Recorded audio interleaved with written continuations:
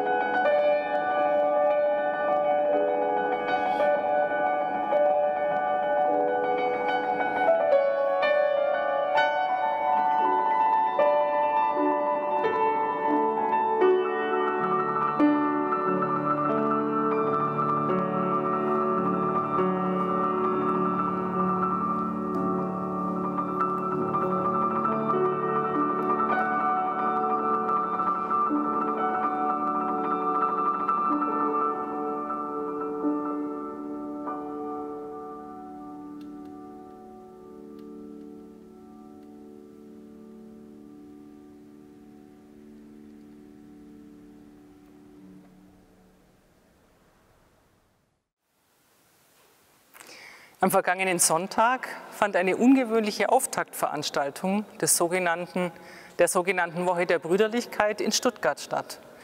Das Präsidium des Deutschen Koordinierungsrates überreichte Christian Stückel, dem Regisseur der Oberammergauer Passionsspiele, die Buber-Rosenzweig-Medaille. Ungewöhnlich dabei war, dass bis auf wenige Anwesende das Publikum fehlte. In den letzten Jahren ohne Pandemie nahmen immer über 1000 Menschen an diesem wichtigen Ereignis teil. Diesmal aber wurde es live gestreamt. Die Bedeutung dieses öffentlichen Auftaktes, der jetzt über die Medien für weit mehr als 1000 Menschen seh- und hörbar war, ist nicht hoch genug einzuschätzen. Denn die Botschaft lautet, Juden und Christen halten zusammen und sie setzen sich dafür ein, dass der Zusammenhalt in der ganzen Gesellschaft gestärkt wird. In der aktuellen Situation dürfen wir das Feld der, das Feld der Präsenz- und Meinungsäußerung nicht allein den radikalen und spaltenden Kräften überlassen. Deshalb ist es sogar förderlich, wenn manche Veranstaltungen der Woche der Brüderlichkeit verschoben werden müssen. Damit feiern wir nicht ein paar Tage, sondern ein Jahr der Brüderlichkeit bzw. Geschwisterlichkeit.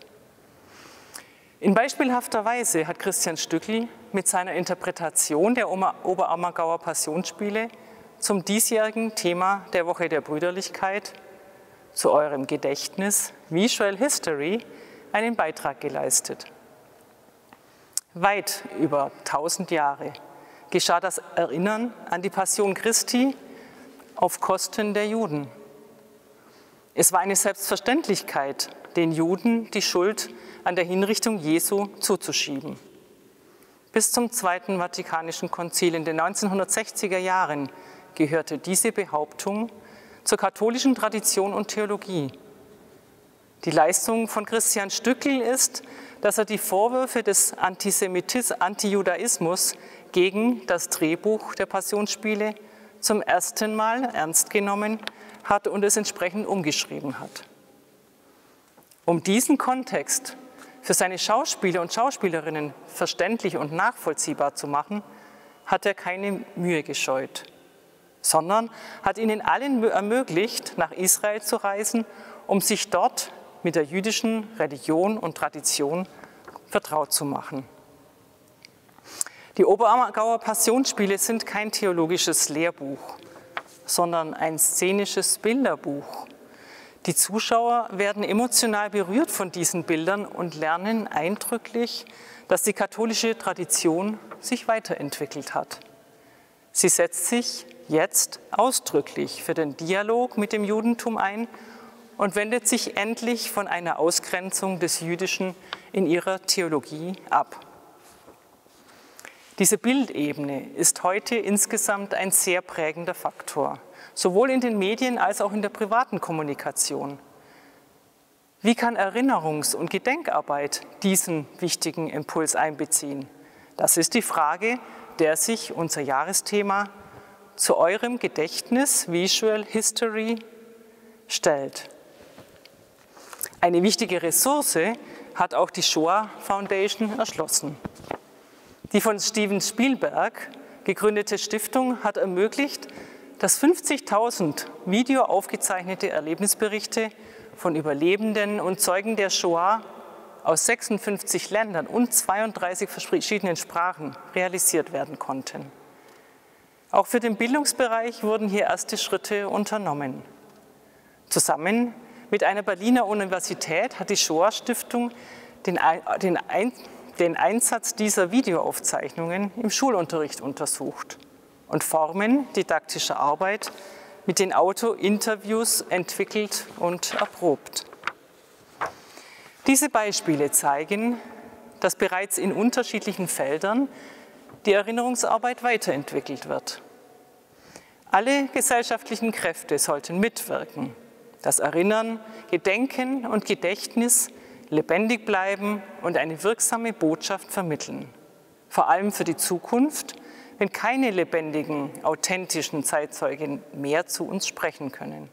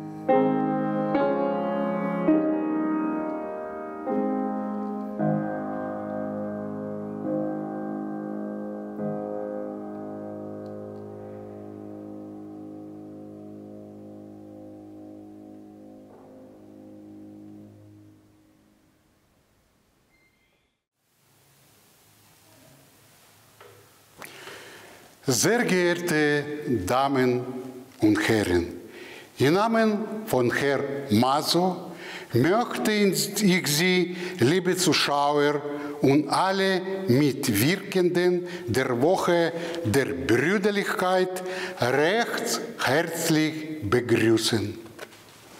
Das Thema der diesjährigen Veranstaltung zu eurem Gedächtnis, Visual History, rückt mehr und mehr in den Vordergrund. Allein schon die Tatsache, dass viele Überlebende der Shoah inzwischen sehr bedagt oder leider verstorben sind und somit ihre Erinnerungen langsam verloren gehen. Muss man entgegenwirken, um solche grauenvolle Verbrechen an Millionen Menschen während der Nazi-Herrschaft weiter für die Nachwelt lebendig zu erhalten. Ist es umso wichtiger, moderne Medien wie zum Beispiel das Internet zu nutzen. Ebenso nützliches Videomaterial, das dann gegebenenfalls schon in digitale Form archiviert wurde oder Bildmaterial, das als Unterstützung dienen kann und ein nie wieder für nächste Generationen zu bewerkstelligen. Dies dient ebenso dazu, dem auf keinen Rechtdruck in der Gesellschaft entgegenzuwirken. Es wird von Jahr zu Jahr wichtiger, durch solche Material unsere Kinder und Enkel zu verdeutlichen, was in diese sehr dunkle Vergangenheit anderer Menschen angetan wurde. Und was ist besser als von Opfern oder Augenzeugen solche Berichte aus erster Hand zu erhalten? Die Frage kann jeder für sich selbst beantworten. Menschen verschiedenster Glaubenrichtungen müssen sich untereinander austauschen und gemeinsam dagegen ausstehen, um solche schreckliche Taten nie wieder zuzulassen. Vielen Dank für Ihre Aufmerksamkeit. Ich lebe und ihr sollt leben. Mit diesem Vers aus der Heiligen Schrift, mit diesem Zuspruch werden wir an einem besonderen Ort in Augsburg begrüßt, auf dem protestantischen Friedhof. Im Namen der evangelisch-lutherischen Kirche in Bayern grüße ich Sie alle, wo immer Sie auch dieser Veranstaltung folgen, sehr herzlich. Zu eurem Gedächtnis. Visual History lautet das diesjährige Thema zur Woche der Brüderlichkeit oder Geschwisterlichkeit. Visual History, sichtbar gemachte Geschichte, ist genau hier zu erleben. Heute sind manche Gedenksteine auf dem Friedhof 200 bis 300 Jahre alt, eine Art Stadtarchiv in Stein. Zum Beispiel eine Gruft an der Wand im nördlichen alten Friedhofsteil, die aus dem 18. Jahrhundert stammt. Sie wurde von Philipp und Antoinette Gutermann von Bibern angelegt, die zu einer Familie von Wechselnotaren und Advokaten gehörten. Die Verstorbenen waren ihren Familien sehr wertvoll. Das ist sogar selbst am Grabstein noch abzulesen. Die Gruftplatte ist aus wertvollem Sandstein, der mit einem Füllhorn, Putten und Metallintarsien verziert ist. Auch die Beschriftungen der alten Grabsteine sind bemerkenswert. Früher reichten nicht nur Namen, Geburts- und Todestag. Manche Inschriften erzählen etwas vom Leben der Toten. Da werden in Gold unsere innigst geliebte Gattin und Mutter Luise Oswald, Feinbäckereibesitzers Gattin, Oder Johann und Amalie Oswald, Brandweinbrennerei-Besitzers Eheleute betrauert. Aber auch nonverbal wird an das individuelle Leben erinnert. Zum Beispiel mit dem Grabmal des früheren Textilfabrikanten Riedinger, das eine Skulptur aus Kupfer mit Zahnrad und Bienenkorb zeigt. Eine lange Liste von berühmten Augsburgerinnen und Augsburgern, die hier begraben sind, wäre hier anzufügen. Zum Beispiel Anna Barbara von Stetten und Elias Holl. Aber auch der Sozialist Hans Rollwagen hat hier ein Grabdenkmal und auch Zwangsarbeiter der Nationalsozialisten fanden hier ihre letzte Ruhe. Ich lebe und ihr sollt leben, sagt Jesus. Das ist eine Zusage. Ihr seid unvergessen. Ihr bleibt lebendig bei Gott und in unseren Erinnerungen. Ein herzliches Grüß Gott zur feierlichen Schlussveranstaltung der Woche der Brüderlichkeit im Goldenen Saal in Augsburg. Auch im Namen von Herrn Kultusminister Michael Piazzolo darf ich Sie alle ganz herzlich grüßen. Hinter uns liegen Monate der Herausforderungen, Einschränkungen und Entbehrungen, wie wir sie noch vor einem Jahr für unmöglich gehalten hätten. Umso mehr danke ich Ihnen, dass Sie trotz der Corona-Krise die Woche der Brüderlichkeit mit Leben gefüllt haben. Mit mehr als 50 Veranstaltungen haben Sie ein abwechslungsreiches und bewegendes Programm zusammengestellt. Danke für dieses vielfältige Angebot und für Ihr enormes Engagement. Für diese Woche der Brüderlichkeit haben Sie ein zukunftsweisendes Motto gewählt. Zu eurem Gedächtnis. Visual History. Die vielen virtuellen Veranstaltungen während der Corona-Pandemie haben uns gezeigt, wie wichtig Bilder für uns Menschen sind. Gerade auch für junge Menschen. Bilder sagen mehr als Worte. Bilder prägen sich ein. Bilder berühren unser Herz. Geschichte in Bilder zu fassen heißt, sich etwas zu vergegenwärtigen. Mit Bildern holen wir die Geschichte mitten in unsere Gegenwart. Das ist umso wichtiger in einer Zeit, in der es immer weniger Zeitzeugen der Shoah gibt, dafür aber immer mehr Verschwörungstheoretiker, Rassisten und Antisemiten. Hier setzen die Menschen in den Gesellschaften für christlich-jüdische Zusammenarbeit an. Sie leisten einen unverzichtbaren Beitrag zur Versöhnung und Verständigung. Und das seit mehr als 70 Jahren. Sie halten den christlich-jüdischen Dialog lebendig und setzen sich ein für eine Kultur des respektvollen Miteinanders. Sie stellen sich Formen des Antisemitismus, des Extremismus und der Ausgrenzung entgegen. Ihr ehrenamtliches Engagement ist ein Vorbild für uns alle. Vergelt's Gott für diesen großartigen Einsatz. Vorbilder sind wichtig, gerade auch für unsere jungen Menschen. Und darum freue ich mich sehr, dass dieses Jahr der Regisseur und Spielleiter der Oberammergauer Passionsspiele Christian Stückel die Buber Rosenzweig Medaille erhalten hat. Mein Glückwunsch zu dieser herausragenden Auszeichnung. Werte kann man nicht lehren.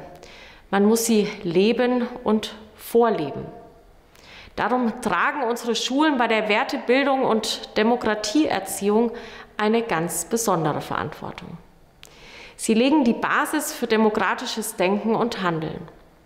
Sie legen das Fundament für eine tolerante und weltoffene Gesellschaft. Gleichzeitig sind das aktive Eintreten gegen Antisemitismus und der Einsatz für demokratische Werte, Toleranz und Zivilcourage eine kontinuierliche gesamtgesellschaftliche Aufgabe.